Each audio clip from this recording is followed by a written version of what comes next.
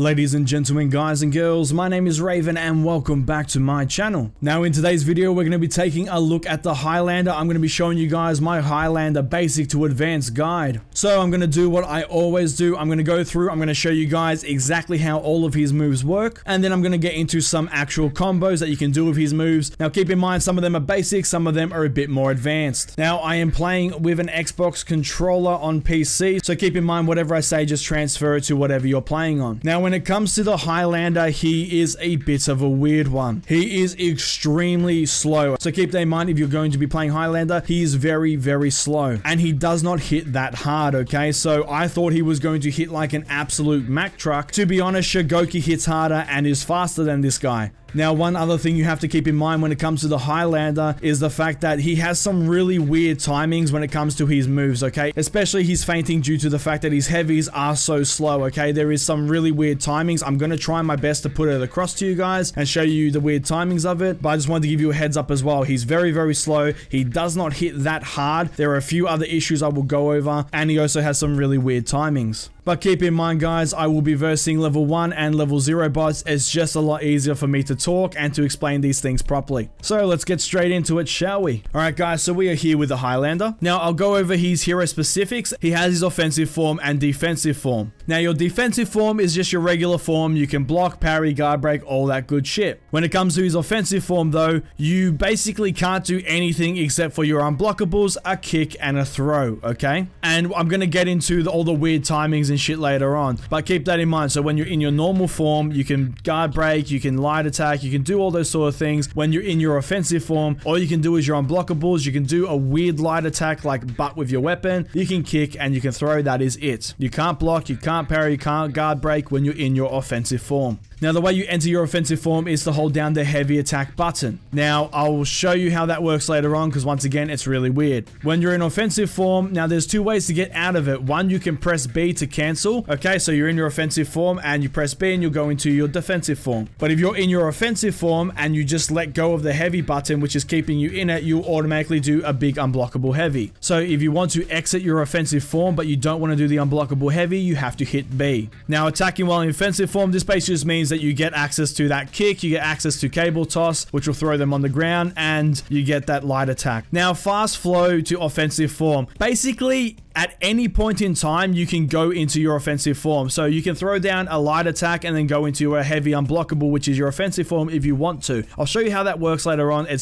feels kind of clunky, to be honest. The whole Highlander, he just feels a little bit weird to use. It's definitely going to take some getting used to just because his timings are drastically different to everyone else on the roster. So like I said before, if you want to exit offensive form, you have to press B. Keep in mind as well, if you get hit at all when you're in your offensive form, you'll automatically get taken out of of it and go back to your defensive form. Now, this is a major issue because there are a lot of people who just throw out a single light attack as soon as you go into offensive form and they just throw you right out of it. And considering his attacks are extremely slow, it's really hard to stay in offensive form and do anything because one light attack and you're booted out of the form. So the way you have to use offensive form is extremely weird. Once again, I'll show you that in a moment. Now, when you are in an offensive form, okay, your light attacks are not interrupted when someone blocks you. And you can also use the light attacks to cancel your offensive heavies. So that is the offensive form, okay? Now, when it comes to the defensive form, it's like Shugoki, okay? So you do have hyper armor, but keep in mind that your hyper armor activates slower than the Warlord and the Shugoki. Um, that's once again because his timings are different and his heavy attacks are slower, so people still have a chance to hit you out of it or guard break you out of it if they are very quick and they see you doing a heavy, but you do have hyper armor on those heavies. While in defensive form, you do have superior block on your light attacks. You can cancel your zone attack, but pretty much don't don't use the zone attack. Uh, from what I can tell, it is so slow. It doesn't have hyper armor and it's just really weird to use. People just parry it all day long. You can cancel your sprint attack by pressing B after the first attack. Now, when you're in offensive form, there are a couple things you can do, okay? So, unblockable heavies can be cancelled into the front kick. Unblockable heavies can be cancelled into the caber toss, which is the one where you throw them, and the kick can be cancelled into the toss.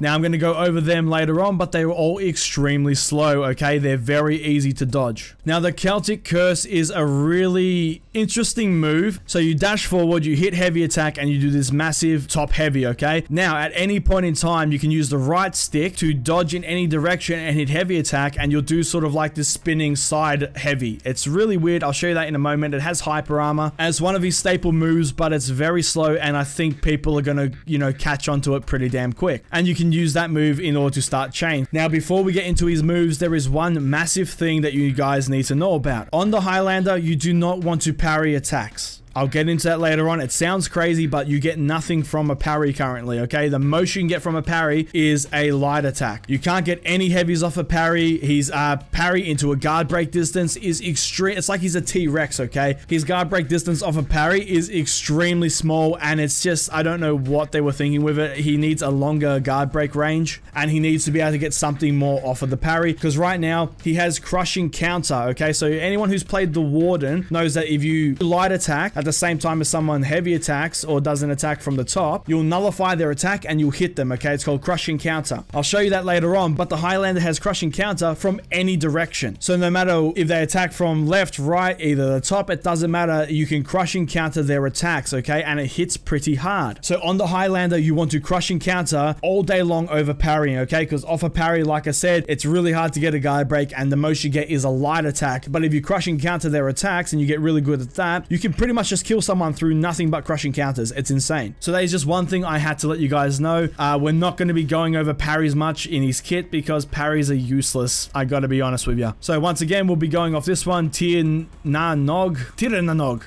I have no idea, but it's two lights into a heavy. Looks like this, so light attack, light attack, and heavy, okay? As you can see, they're pretty damn slow. Light, light, heavy. Of course, he's rocking a massive claymore, so I expect it to be slow, but it does have some drawbacks in terms of gameplay. The next one we're going to be looking at is lowland slashes, so it's just light attack into heavy. So once again, light attack, heavy, okay? One more time, light attack, heavy. Just remember to keep switching up directions when it comes to these. The next one is Banshee's Wail, and that is two heavies. Now keep in mind, like I said, he has really weird timings when it comes to his heavy. So you have to heavy attack, wait, heavy attack, okay? If you go heavy attack and then heavy straight away, heavy, heavy, like I just did then, eh, he'll only do the one. So I'll go heavy, heavy. Ready? Heavy, heavy. Nah. His timings are really fucking weird. So you want a heavy attack, wait for it to basically hit the guy, and then initiate the second heavy. So heavy attack, now heavy. I don't know why they did this with his timings, but it just feels extremely awkward to play. So I'll go over it one more time because this is pretty much you have to delay all of your inputs in terms of all his moves. Otherwise, they don't go off because of the weird timing. So you want a heavy attack as it's about to hit him, initiate the second heavy. So heavy, and now heavy. Boom. So next one we're going to look at is the Celtic Curse. That's a uh, dash forward into a heavy attack, okay? So you want to dash forward using the movement stick and the dodge button, and then you want to go for a heavy. So dash, wait, heavy. So dash forward, heavy. And it looks like that. So keep in mind you have that hyper armor, but I want you to notice something, okay? He goes for the swing, and if you notice, he doesn't get his hyper armor until the sword is up in the air. So heavy, Look at that, okay? So the sword is above his head before he gets the hyper armor. If this Peacekeeper wanted to, she could just hit me out of it.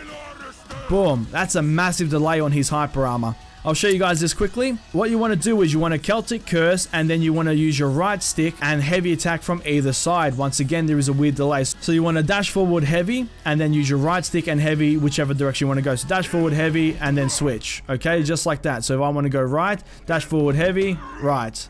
I want to go left, dash forward heavy, heavy left, okay? It sounds like he's wielding a lightsaber or something. It's pretty damn cool, but dash forward heavy, boom. Now, you've got to be pretty quick with it. Dash forward, heavy, boom. Dash forward, heavy, boom. Now, this is a good way to speed up that hyper armor because you go boom and then get hyper armor straight away. Because if you just do the Celtic Curse normally, like I said, it's very delayed on his hyper armor. But if you do it and then switch, you get hyper armor pretty much instantly. So keep that in mind. One more time, you want to dash forward into the Celtic Curse and then you want to switch by going right direction on your right stick into a heavy. So forward dash, right direction, heavy, okay? So that is how you do the Celtic Curse. Alright, so now to show you how to go into the offensive form. So you just hold down the heavy trigger. So holding down heavy attack will put you into offensive form like this. Your weapon starts glowing once again like a lightsaber. Now there's one thing to keep in mind here, okay? If you want to cancel it, you press B. But every time you go into the form and press B to cancel it, your stamina drains, okay? I don't know why they put this on there. Going into offensive form to begin with is already hard enough as it is, and then having that extra stamina drain every time you want to cancel it, it just makes it even more complicated and weird, especially because the Highlander does have some stamina issues. But to go into it, what you need to do is just hold down your right trigger. Now, next one we're going to be looking at is Balor's Might, okay? Now, all you do is release the heavy trigger once you're in offensive form. So, go into offensive form by holding down the heavy button, okay? And all you want to do is just let go of the heavy attack button, boom, and you'll do an unblockable. You can do that from whichever direction you want. If I want to go left, boom. Hold it up. If I want to go top, boom, you just let go and you'll do an unblockable. Now, the next one we're going to be looking at is Caber Toss, okay? So, you want to go into offensive form, okay? And then you want to pull back on the movement stick and hit guard break and you will toss them. Okay, so offensive form. So pull back on the movement stick and guard break at once. You'll grab them. You'll throw them on the ground just like that. Once again, boom, you'll grab them and throw them on the ground. You can follow this up with a heavy attack. Okay, so you can grab them, boom, and then just let go and you'll hit them with a heavy. It's unblockable as well. One thing to keep in mind, like I said, this thing is extremely slow. They can dodge it. So if you go for this, look at that delay. I click it, delay. There is a massive delay on all his attacks. I really don't know why. But keep that in mind if you are using the Caber Toss, it's really nice to use it by cancelling your kick because it throws people off drastically and you can catch them as they're dodging. But the next one we're going to look at is that kick, okay? So, so the Fomorian kick, when you're in offensive form, you just push guard break. So go into offensive form and kick, boom. Now watch how slow this thing is. Boom, okay?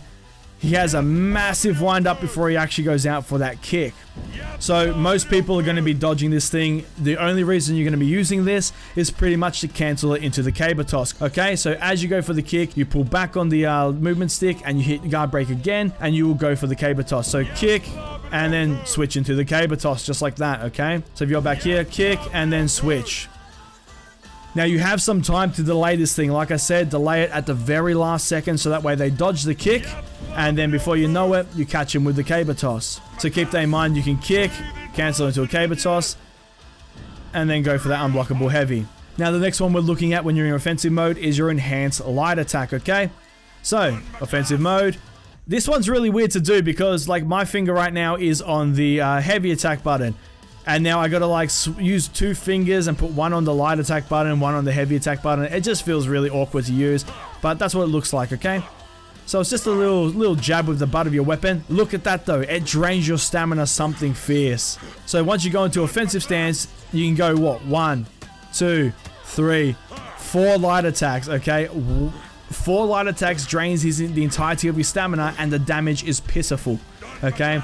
Look at that. Eh. It's just like a little poke, and yet it just drains a, like a quarter of his stamina every time. I have no idea why. It's crazy. So what you can do, though, is if you go for the heavy, okay? You can cancel it like that, okay? So he does have a mini version of the Lawbringer's like top poke thing, okay? So if you go for an unblockable heavy and you don't want to do it, just just cancel it into that, okay? Unblockable heavy, you don't want to do it, cancel it into a light. You can do that. I don't know how other people play, but it's extremely weird for me to have one finger on the heavy like this and then another one on that to do the light attacks. It just feels extremely weird to me. Normally, I just do this and I switch between the two. But that right there is how you do the light attack. Now, guys, he has something extremely overpowered. It fucking just decimates everyone. I can't believe they put this thing in the game. It is just fucking disgusting that this is even in the game, okay? So he has an offensive form emote spam. Look at this shit. Ready? So, you want to go into offensive form, hold down that right trigger, okay? Then you want to spam your emote.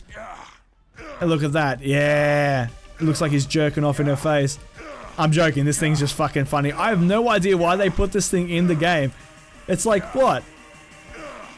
They literally put an emote on the move set list. Why is this a move? It does it does nothing but spam the guy and look like you're jerking off at him. Honestly, I love it, but I have no idea why they, they put it in the move set list. It's, it's a little weird to me, but I love it. It's cool. So that is how you do the uh, offensive form emote spam. And the last thing we're looking at is his sprint attack. Okay, so free form like this as you're running around all you do is you run towards them and hit heavy, boom, and you do a massive attack, and there's two of them. Now keep in mind, it doesn't have hyper armor. See? Boom, no hyper armor. which is extremely bad, but you can cancel the second one. So if you run, you go for the first one, boom, hit B straight away, you'll cancel the second one, sort of like his uh, zone attack. Speaking of his zone attack, his zone attack once again doesn't have any hyper armor. I have no idea why. It's pretty damn insane. Now drains a whole bunch of stamina as well. And keep in mind, you can cancel it like normal, okay, just by pressing B. So those are all his moves, okay? Now we're going to get into his combos. Like I said, the majority of his combos are extremely weird to use and the timing on them are once again very weird.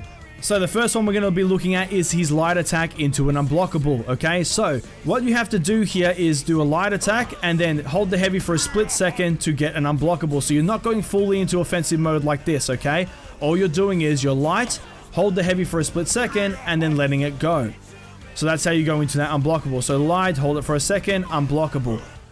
Light, hold it for a second, unblockable. You have to get used to doing this, okay? This is the only way you're going to be getting unblockables off because like I said, as soon as you go into this mode, someone's just going to light attack you instantly. You're going to get thrown out of it back to defensive mode. So in order to use your unblockables, you have to be smart with them and just basically charge it up for a split second and then use it right away. Boom, charge it up for a split second, use it right away. So that is the light into unblockable and the next one is pretty much a heavy into unblockable. This one is parry bait, but like I said, if you manage to whiff the heavy attack or if they don't block it, you can follow it up with an unblockable heavy. So you want a heavy attack normally and then hold it for a second into another unblockable. So, heavy normally, hold it for a second into an unblockable. His heavies are very slow and you will most likely be parried. Keep that in mind. Can't stress that one enough. Now, the next one is a light attack into that unblockable and then you're going to follow it up into a kick. Now, the timing on this is once again extremely fucking weird and it feels awkward to use. So, you want to light attack, hold it for a second to that unblockable heavy, and then you want to hold it again for a second and then go into a kick, okay? So it looks like this, light, hold it for a second for the heavy, hold it again, and then kick. Now make sure you hold on to the heavy trigger because otherwise you'll unleash another unblockable and there is a combo for that I'll show you in a second but you want to release it when you want to release it. So once again Light attack, hold the heavy for a second, hold it again, and then kick. Now keep in mind it takes some getting used to, and uh, it, you will get used to it eventually, but it, it just feels weird to be honest. and now the last one I'm going to show you for that one is once again the light, hold the unblockable for a second, hold it again, go for that kick, and then just release it for another unblockable, okay? So one more time, you want to light, hold the unblockable for a second, hold it again, go for that kick, and then just release it for another unblockable. And now the next one I'm going to show you is the light, okay? You want an unblockable heavy, and then you want to hold it and go into the cable toss, okay? So it looks like this. You want to light, hold it for a second for the unblockable heavy, hold it again, and then cable toss. Now there is a very weird delay in between that unblockable heavy and that cable toss. To make sure you get it off properly, you will need to hold the movement stick back and sort of spam that uh, guard break in order to ensure you get the cable toss off. So you want to light attack, hold down an unblockable heavy, okay, and then spam that guard break in order to get that cable toss off. So keep that in mind. You will need to mess around with that in order to get the timing down right. Now the next one we're going to be looking at is your heavy. You're going to feint the heavy into a guard break. Okay, now keep in mind, like I said, you can only get a light off a guard break. So you want a heavy feint guard break, light attack, okay, and then go for an unblockable heavy. Now, on the Gladiator, you can heavy feint guard break really fucking quick and it will do it, but you have to delay your heavy feint, okay, so you have to heavy, you have to feint and then delay the guard break, otherwise it's not going to go off. So heavy feint guard break, it's not going to work. See, the guard break didn't work. I clicked all three buttons there, heavy feint guard break, doesn't work. So once again, this is what I'm talking about, how the timings are weird. You have to heavy feint, wait a second for him to do the feint, and then guard break. So heavy feint, and then guard break. Like that, okay? It's really confusing, but you'll get used to it once you practice it. So heavy feint, wait for it, and then guard break. Once again, heavy feint, wait for it, guard break. One more time, heavy feint, wait for it, guard break. The whole thing just is really slow and the timing is just really weird. It's just an overarching theme of the Highlander he is fun to play and he does feel really good once you like figure out how to play him. It's very slow and methodical. So what you want to do now is you want to heavy feint, guard break. Once you land that guard break, you want to land a light attack and then follow it up with that unblockable heavy. So heavy feint, wait for it, guard break, light attack, hold it for a second, and then unblockable heavy, okay? Once again, heavy feint, wait for it, guard break, light attack, Hold it for a second, unblockable heavy. Next one we're going to be looking at is the Celtic Curse into the cancel side heavy. And then you want a heavy feint guard break and light. This one is extremely hard to pull off because the timings are so fucking weird. So dash forward heavy, cancel it, heavy feint guard break, light, unblockable heavy. Once again, extremely awkward to use, but once you get it down pat, it's a pretty neat combo. You want to go for the Celtic Curse, cancel into the side heavy, heavy feint guard break, light attack, charge that up for a split second, and boom. Watch your stamina though he drains through stamina really quick. So that is the Celtic Curse into the side heavy, into the heavy feint guard break light, and then you can follow up with that unblockable heavy. It's a pretty neat move. And now one of the last ones we're going to be looking at is the Celtic Curse into that side heavy cancel. Then you're going to go straight into an unblockable heavy, into Caber Toss, into unblockable heavy. So you want to dash forward, okay? Cancel into that side heavy, hold it for a second, unblockable heavy, spam that guard break, cable toss, and then unblockable heavy again. So once again, guys, you want a Celtic Cross into that side heavy, hold it for a split second. Okay, spam that guard break for that cable toss, get it off, and then release it for that unblockable heavy. Now you can do the same thing with the kick, and it's a bit longer formed. It drains a shit ton of stamina, so be careful. So what we can do is, I'll show you the uh, cancelling the kick into the cable toss one. So you want to Celtic Curse, side, hold the heavy, okay, go for the kick, uh, cancel that, cable toss, and then release that heavy. Like I said, it's a nice long move, but it drains all of your stamina. Okay, the whole thing gone. But what I'm going to do now, guys, is show you his crushing counter. Alright guys, so now I'm going to be showing you his crushing counter. This is his most reliable source of damage outside of those unblockables, so it's going to be a pretty damn crucial thing to learn, okay? So the way this works, guys, is what you want to do is you want to light attack as they attack, okay? Now it's the same timing as the parry, but what you're going to do is you're going to basically like deflect their attack. It's the tank's version of deflect. You're going to deflect their attack and you're going to hit them for some decent damage. Okay, so I'll show that to you guys now. So, boom, just like that. It's unblockable as well, which is quite cool, and they have no chance to stop it. So, light attack as he goes to do it. It's the same timing as the parry, okay? Boom. Just like that. Look how much damage it does. You can literally just turtle up and kill someone through just the crushing counter. Because you can do it from any side, it's absolutely crazy. So remember, just you got to get that timing down, just practice it, boom. As he goes to attack at the very last second, either when the uh, indicator glows or you can watch his movement, whichever one you want to do, what works for you. Just basically light attack at the same time as he does his attack, and you're solid. Boom, just like that. It is honestly the strongest part of his kit.